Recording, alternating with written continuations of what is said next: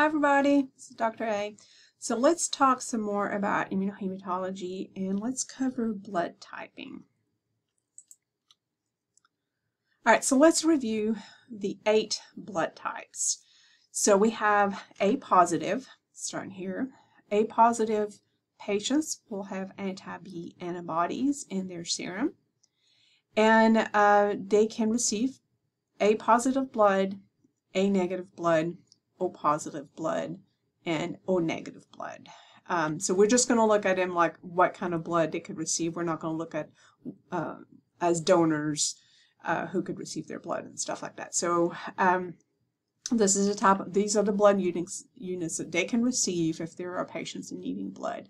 And then they are incompatible with B pos, B neg, AB pos, and AB neg because of the B antigen that would react with their anti-B antibodies. Okay. So A negative would have anti-B antibodies and then potentially anti-D. That's why I have it in parentheses. Um, they are compatible with A neg and O neg and incompatible with all these other types here.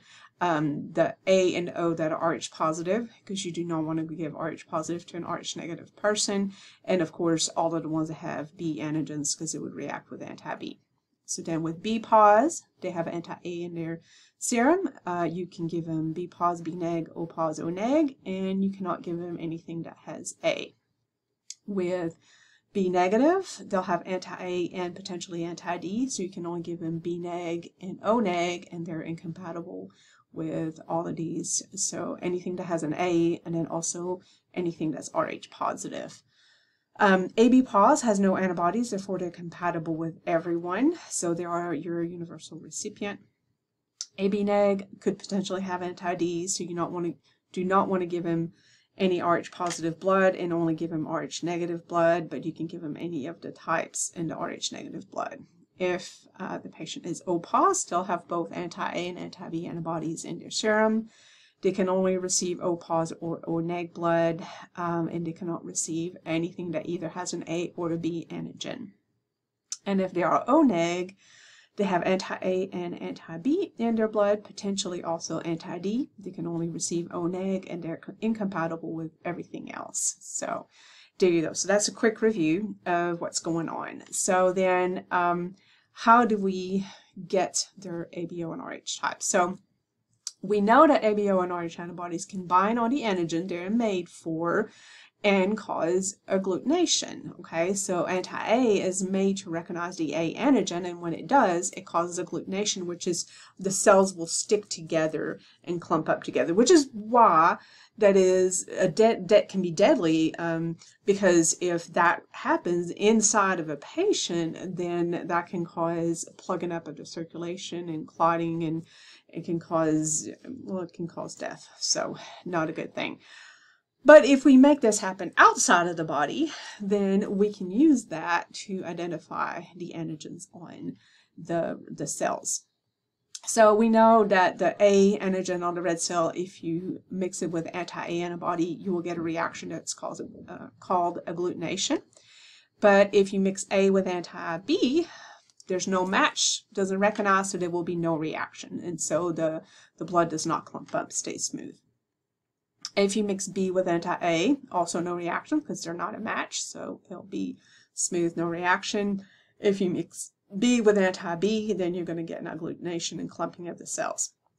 And then for the RH, if you mix um, RH positive blood, so I'd have the D antigen with anti-D antibody, the anti-RH um, antibody, then you will get agglutination. But if uh, you have Rh negative blood, so it's represented by the little d uh, mixed in with anti-big D antibody, then there won't be any reaction. It'll be negative. Okay, so what we do essentially to test for ABO and RH is uh, we mix the cells we want to type. So the cells are the unknown. Okay, we don't know what blood type they are, uh, so we need to discover that. And we mix it with known reagent antibodies. So we have a vial of anti-A, and anti-A is always colored blue.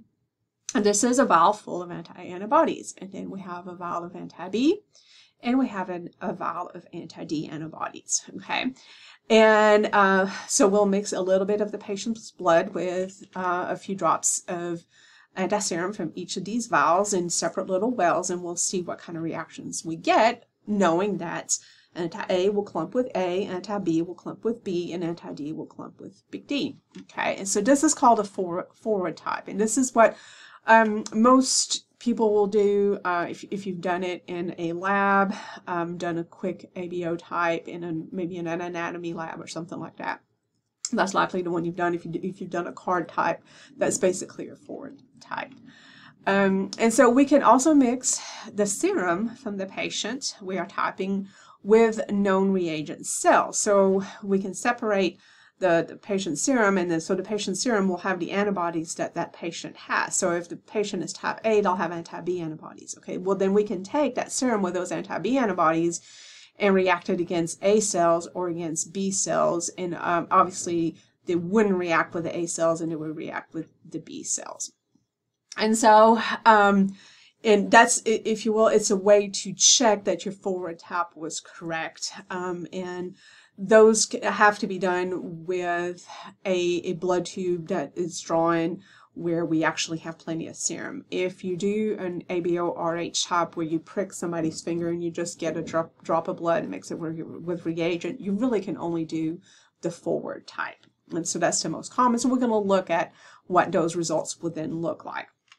Okay, so if their blood type is O positive, which is what you're trying to discover, and you mix their blood with anti-A, you will not have a reaction because um, the antigen on the surface of the red cells, there aren't any anti-A antigens. It's, uh, it's an O, so O doesn't have A or B.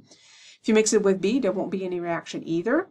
But if you mix it with anti-D, since this is O positive, it has the D antigen, the RH antigen, then you will get agglutination. And then we always run a control um, there with uh, the anti-D, and it should be negative. Okay.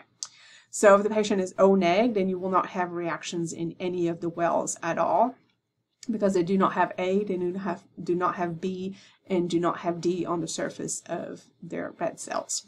Now an A positive person would have um, A antigen on the surface of their red cells, so they would react with anti-A reagent, um, but they would not react with anti-B reagent and they have, since they're Rh positive, they have D on the surface of their red cells, and so they would react with anti-D reagent, and again, the control should be negative.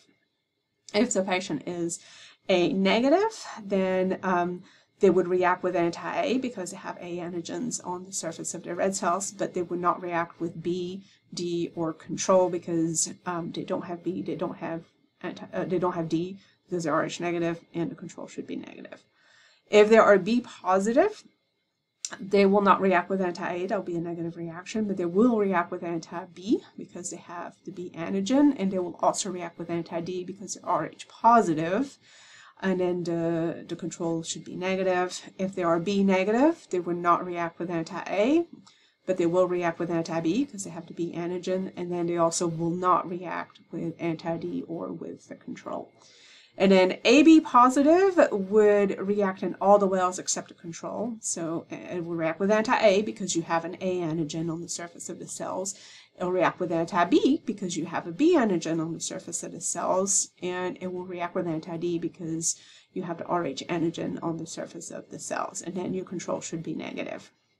And then for AB negative, they will react with A and with B because they're AB, so they have both A and B antigen on the surface of their red cells, but they would not react with anti-D, and the control should be negative because they do not have the Rh uh, antigen on the surface of the red cells.